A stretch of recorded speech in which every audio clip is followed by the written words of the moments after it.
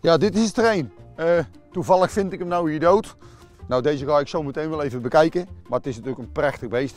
Op dit stukje langs de lek wonen er wel duizend. Zie je vooral goed op nachtcamera's. Toch gaat het eigenlijk te goed met het konijn. Het is gat na gat na gat. En de planten worden kapot gegraven, maar daarna ook kapot gevreten. Maar wat moet je dan doen? Verhuizen was het antwoord.